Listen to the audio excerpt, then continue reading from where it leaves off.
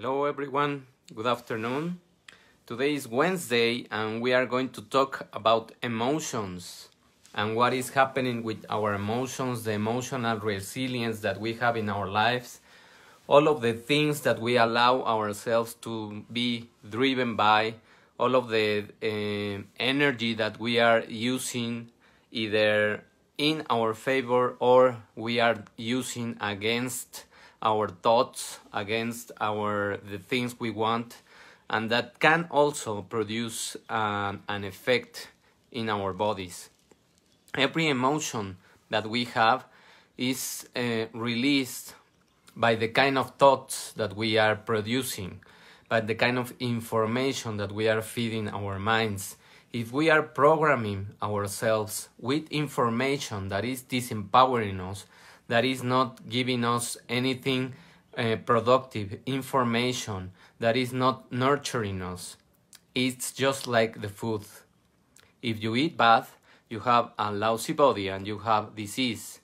If you allow yourself to consume information that is producing and changing and biasing your perception, the kind of thoughts that you are going to produce are thoughts that are going to be ruminating that are going to be, give you a disempowering vision of yourself and in the end are going to produce emotions that you don't want or that you don't like. So you are generating a vibrational field of emotions in your whole body. As we explained on monday and yesterday also we are made of energy and that energy is in all of our molecules of our body. So if we are percepting percepting percepting the things or sensing the things with our five senses and we are allowing ourselves to change the chemistry inside of us then we are going to create something that is not um, empowering for ourselves. And we thought about yesterday about this concept of epigenetics. Everything that we do and the perception that we have are our receptors. Our eyes, our ears, our nose, the touch, everything in our feelings, in our senses, is producing a kind of chemistry, is producing a kind of emotion, emotional vibration. If you raise your emotional vibration, if you generate a positive content in your mind and you are constantly feeding yourself with information that is nurturing your mind, that is allowing you to learn some skill, that is giving you uh, knowledge for yourself, then you are raising your vibration of the kind of, of thoughts and you are feeling more and more powerful within you. Why? Because of the information that you are consuming. So that's the way it works. If we consume positive information and information that is nurturing us and that is empowering us, we are going to create a vibrational field that is higher. That means that you will feel that you are more in control of yourself, that you are going to let go the thoughts that don't work. You are going to declutter your mind of things that don't work for you. And you are going to be able also to um, detach or detach from the thoughts that are toxic for you. You are going to be able to be the observer of the things. The more you become the observer of the things, the easier it's going to be for you to evaluate the things. It's just as if I um, start hearing the a conversation with someone and someone is telling me a story from another person and I start seeing the things very clear for that person why uh, she or he is sad or depressed or anxious. It is easy to see the things when we are in a third person, when we are detaching from the things, from the feelings, and we are observing just what we are uh, listening or the, the people. So that is the exercise.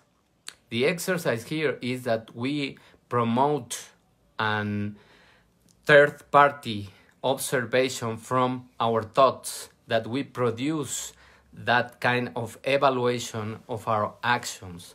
And a thought doesn't define you. A thought is just an idea that you have, but it might not be even yours.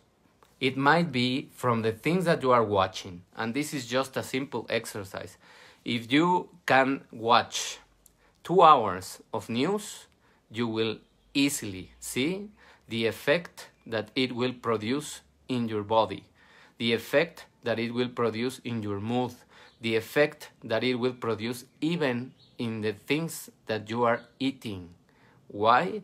Because if we eat with anxiety, if we eat with sadness, if we eat with anger, if we eat with any kind of those emotions, we are going to produce um, a poor digestion, poor metabolic processes, poor immune responses. We are going to feel probably tired. We are going to feel probably indigested. We are going to feel probably uh, with a headache or something. Why? Because we ate the food with toxic emotions. And why we, did we allow that? Because we were watching things that were not giving us positive information or growing information or things that are just there to relax us. If we start filtering the things that we consume, if we start being more mindful of what we read, what we watch, who we listen, then we are going to produce changes in our life. This time, this pandemic is also very, very helpful so that you can get detached from people that also were toxic for you and you didn't know. You just figure it out right now because probably they are not even aware or where you are, how you are, and they are not even contacting you at all. So this time is also to know ourselves more and to know who was the social circle that is going to support us, to make us grow, to make us raise our vibrational level. It is time to clean everything, to clean our houses, to clean our inner emotions, to clean our body, to clean our metabolism, to clean everything. It is time for us to go inside and to learn so many things that we were looking excuses for. Now there's no excuse. Now you are in control of your time more than before.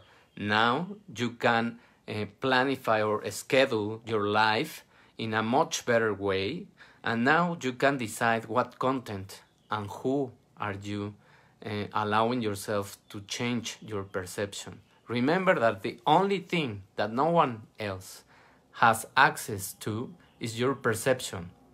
It is something that you control. It is something that no one can make you think what they think. So it is time for you to step up and to become a maverick. Maverick means a person that is independent, that is growing, that is raising their thoughts. That's what we need in this new world because we are going to enter a new phase, we are going to enter a new world. It's not gonna be like before, and probably we will have more of this time of viruses or things that are going to threaten us. If you are weak, yes, they will be a threat for you. If you are strong and each time you grow stronger, you will survive. That is just evolution. That is just what, what the world is doing, is creating a homeostatic world all of nature is renovating right now and we can see it in the trees in the air in the water in the animals in the insects in everything everything is passing through a transformation and a renovation why not ourselves why just spending time watching news why just spending time watching entertainment why just spending time listening to people that are just worrying us or that are just triggering us. Why? Why not go inside and see the wounds that we have and start healing them? That's better. if you take care of yourself, if you, if you take care of your emotions, then you are going to be stronger. And then you are going to have a much better immune system. Why? Because all of those emotions interact with your immune system.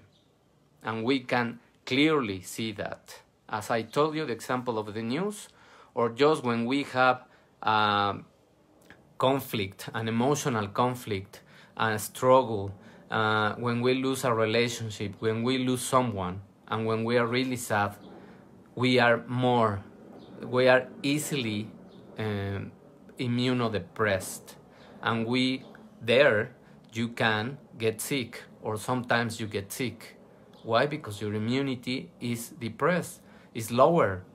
So don't let yourself take the easy road, the hacking tools, the things that are just there to create marketing and giving you uh, simple solutions. No, there are no simple solutions. There are solutions that require your commitment, your discipline, and the love that you have for yourself. The, the more you love yourself, the more you are able to make time for you. The more you love yourself, the more you worry or take care, better, it's a better word, take care and take action of your thoughts, of your content, of the wounds, and the more you start repairing yourself from within, taking all of those pieces that some in some part of your life were broken, now it's time to take those pieces and match them and unify them and glue them with a very strong glue and with more consciousness and more love for yourself, forgiving yourself, forgiving the persons that probably hurt you. Many times, more than 90%, they didn't want to do what they did. So just let the things go, let the emotions go, because toxic emotions are just damaging you, no one else. If you are angry at someone, if you are not forgiving someone, that person or that uh, or an event is not gonna change. But you can change and you can take care of you and you can start loving yourself. The more you love yourself, the much higher vibration and coherence you are going to create and you are going to attract a very powerful mindset. I hope that these tips, these lessons allowed you to process all this information and to help people that you know that can benefit from these teachings that I'm giving. Please share the message, give me a comment, give me a like, and I'll wait for you tomorrow at noon. We are going to talk about consciousness and reflection. Thank you very much and have a wonderful day. Bye.